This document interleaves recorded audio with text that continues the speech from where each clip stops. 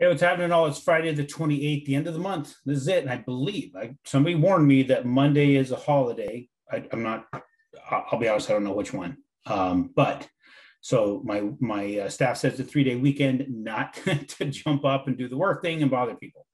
But um, you know, today what we've got is uh, more inflation reports. The PCE, the Personal Consumption Expenditures Report, uh, came out. Now that was having a big effect. If we'll take a look here at mortgage bonds as of yesterday, there was there was some some fear these last couple days coming into this because they're talking about inflation again. Of course, inflation being what it is, and of course being hotter than what we have seen in a long time. I think this is actually the current readings are somewhat hotter than they've been in the last 13 years. So what's crazy is is that the mortgage bonds are still holding in there if you look at this from a very long perspective right this is where the crash happened uh, last year, you know, right when COVID hit, had everything decline.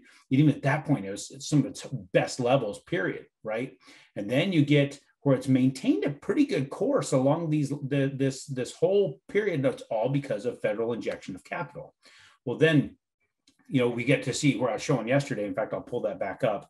I shouldn't have jumped out of there yet, but um, we start looking at yesterday and we start to see that um, you know, the last couple days, there was some really, really negative trading out of fear of what was happening in the market. So because of that fear, we started to see it getting getting fairly negative because of what they thought was going to happen when it comes to. Uh, in fact, I didn't share the screen properly, so here it is. You know, so it's you can see where that fear kicked in these last few days of trading, and then we found some stability when the actual numbers come out, because I believe there was some fear that the, the numbers can be much worse. You know, so the PCE is coming in at uh, 3.6. The year-over-year index increased from 2.4 to 3.6, which is pretty damn hot, right? I mean, that's a big jump for the PCE when the Fed's trying to keep it below two, right, or somewhere right around two. But what does that talk about for us as far as real inflation? Like I said last time, somewhere closer to 12%. The other thing that I find is interesting, you look at the PCE and the CPI. CPI is saying 4.1, PCE is talking about 3.6. Well, if the CPI is 4.1, right? And that's what some people are going to believe is real rate of inflation. Um, let's say that it's that, right? Well, I'm seeing interest rates for investors in the low fours right now, which a lot of people like, I can't believe it's so high. Come on, guys. If the rate of inflation for the Fed the the the uh, CPI is 4.1, and we're not far off that, a quarter, maybe three eighths of a point off of that. The, the Fed's number, think about that. That's a quarter to three eighths in interest that you're really paying. If you believe that that's what it is. In reality, we know it's it's over 10. We know it's closer to 12. You go to John Williams Shadow Stats. If you have not signed up for that, sign up for it.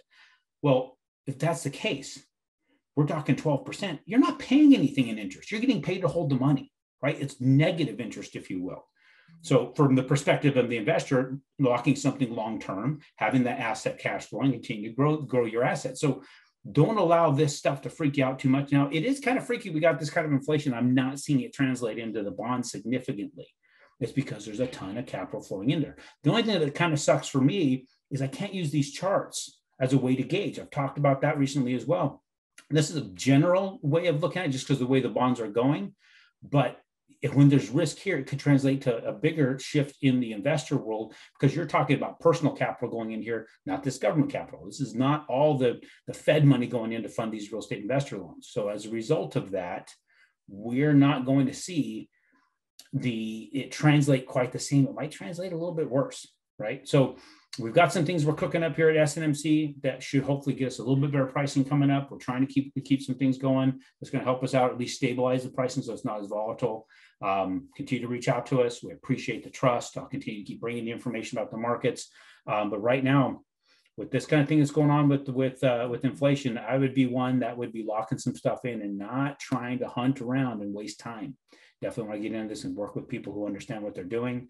Uh, next week, we got the ADP report and the BLS jobs report estimate the estimates are about six hundred thousand um, dollars. Excuse me, six hundred thousand new jobs in either one of those those uh, those reports, ADP or or the Bureau of Labor Statistics report. So we'll see how that works out. They'll tell us a lot about the market next week. I'll be talking to you on Tuesday. Have a great weekend. Have a great holiday. Enjoy that three days, and uh, we'll talk to you then.